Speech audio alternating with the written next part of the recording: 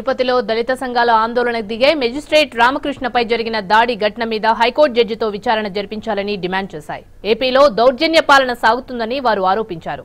అధికార పార్టీ నేతలకు పోలీసులు దాసోహమయ్యారని జడ్జిపై దాడి జరిగితే ముఖ్యమంత్రి ఎందుకు స్పందించడం లేదని వారు ప్రశ్నించారు. దళిత సంఘాల ఆందోళనకు సంబంధించి మరింత సమాచారం మా ప్రతినిధి జగదీష్ అందిస్తారు.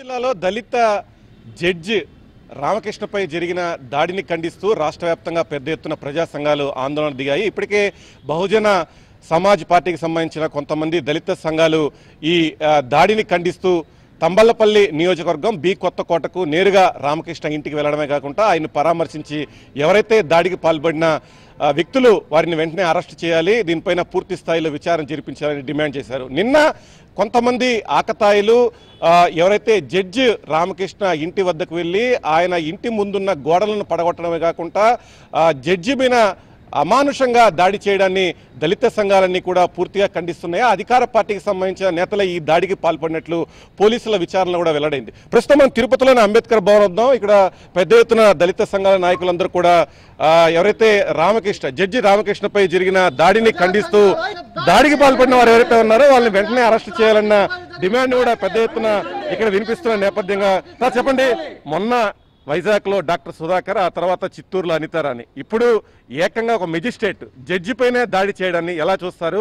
ఇప్పటికి కూడా ప్రభుత్వం దీనిపైన స్పందించకపోవడం అసలు అధికార పార్టీ నేతలు ఈ దాడికి పాల్పడినట్టు స్పష్టంగా పోలీసుల విచారణలో వెల్లడైన కేసులు పెట్టకపోవడాన్ని ఏ విధంగా చూస్తారు? భారత రాజ్యాంగం పట్ల విశ్వాసం కలిగినటువంటి ఒక న్యాయమూర్తి పైన ఒక పథకం ప్రకారం నిన్న దాడి చేస్తే ఆ దాడికి సంబంధించి ఫిర్యాదు ఇస్తే కూడా ఆ ఫిర్యాదును పోలీసులు స్వీకరించకుండా హాస్పిటల్కి వెళితే వైద్యం ఇవ్వకుండా ఆయనకు జరిగినటువంటి అవమానం ఇది చాలా తీవ్రమైనటువంటి సంఘటనగా మేము భావిస్తున్నాం.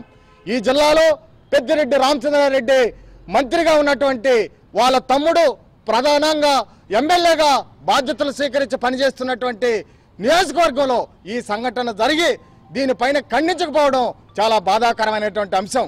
మరి ఈవేళ దళిత అధికారుల పైన జరిగేటువంటి ఈ దాడులు ఏవైతే ఉన్నాయో వీటిపైన ఈ రాష్ట్ర ప్రభుత్వం తక్షణం స్పందించి ఇప్పటి వరకు జరిగినటువంటి ఈ ద- దాడులపైన హైకోర్టు న్యాయమూర్తి ద్వారా విచారణ చేయించి ముద్దాయిలను శిక్షించాల్సినటువంటి అవసరం ఉందని ఈ సందర్భంగా మేము డిమాండ్ చేస్తున్నాం. దీన్ని అసలు పూర్తి స్థాయిలో పోలీసులు పట్టించుకోవడం లేదు. కనీసం స్థానికంగా ఉన్న తంబలపల్లి నియోజకవర్గానికి సంబంధించిన పోలీసులు కూడా ఘటనా స్థలానికి వెళ్ళని పరిస్థితి.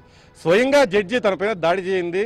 జరిగిందన్న విషయాన్ని ఆయన చాలా ఆవేదనతో ఒక సెల్ఫీ వీడియో కూడా మీడియాకు విడుదల చేసిన పరిస్థితి. ఏ విధంగా చూడాలంటారు దీన్ని? ఒక న్యాయమూర్తి పైన దాడి జరిగితే కూడా మన పోలీసు వ్యవస్థ స్పందించడం లేదు అని అనుకున్న తర్వాత ఇక ఒక సామాన్యుడికి ఈ రాజ్యంలో రక్షణ ఎలా ఉంటుంది అనేది ప్రజలందరూ కూడా బాధపడే విషయం.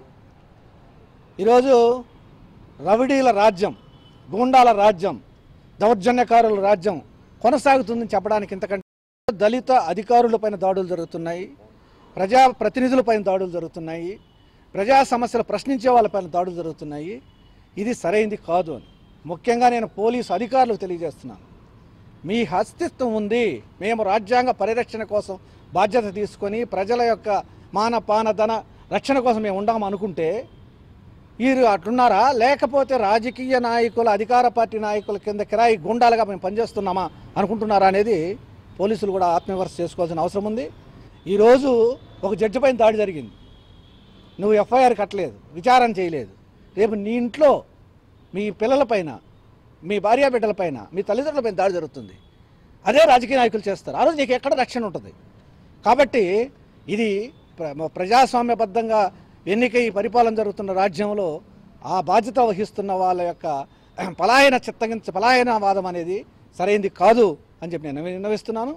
రెండోది ముఖ్యమంత్రి గారికి కానీ అధికార పార్టీకి కూడా మేము కోరుతుంది ఏంటంటే ఇదేం అధికారం అనేది శాశ్వతమైనదేం కాదు. చాలామంది ఇంతకు ముందు మట్టిలో కలిసిపోయారు.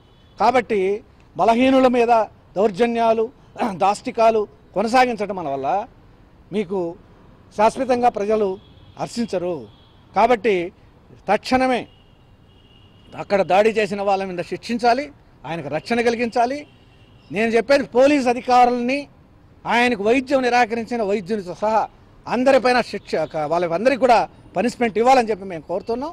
వెంటనే ఎవరైతే రామకృష్ణపై దాడి చేసిన వారిని అరెస్ట్ చేయడమే కాకుండా ప్రధానంగా వారిని కఠినంగా శిక్షించాలి లేకుంటే మాత్రం పెద్ద ఎత్తున ఆందోళన చేయడానికి దళిత సంఘాలన్నీ కూడా ఐక్యమవుతున్న పరిస్థితి. ప్రభుత్వం స్పందించుకుంటూ ఉంటే మాత్రం రేపు పెద్ద ఎత్తున రాష్ట్ర వ్యాప్తంగా ఆందోళన చేయడానికి కూడా దళిత సంఘాలు సిద్ధమవుతున్నట్టు మనకు స్పష్టంగా అర్థమవుతుంది. Camera person Shekhar Jagadish TV five Tirupati.